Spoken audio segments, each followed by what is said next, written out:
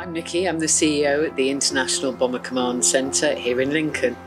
I'm here today to tell you uh, a short piece about Akin Shenbanjo, who was a Nigerian who uh, wanted to enlist after the Battle of Britain, wrote to the War Office and was told that, that we weren't currently recruiting from Nigeria and if he wanted to join he'd have to come to the UK.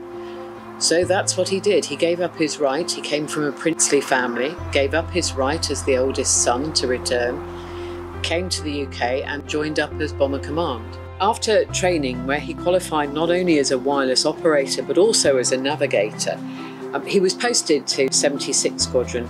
And whilst at Upper Heyford, while they were crewing up, he was approached by his pilot, uh, Jimmy Watt, who said to him, Are you really trained in all of those aspects? And Akin is reported to have said, I've done so much training, I could win this war on my own. So obviously that shows the kind of sense of humour that he had. He was very popular with his crew.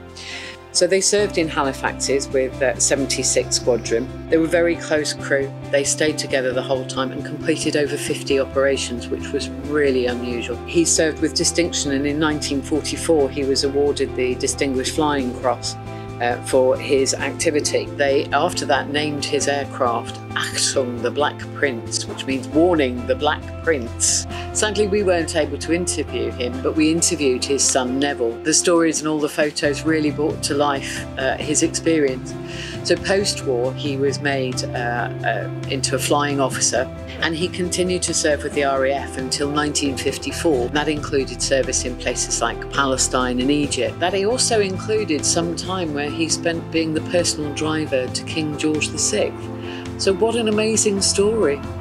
The stories like Akin's are really, really important because actually it's little known that uh, people from Ceylon, from India, from Africa, from the Caribbean, all served and supported Bomber Command. They were part of the 62 nations that were involved in defeating the Nazi regime.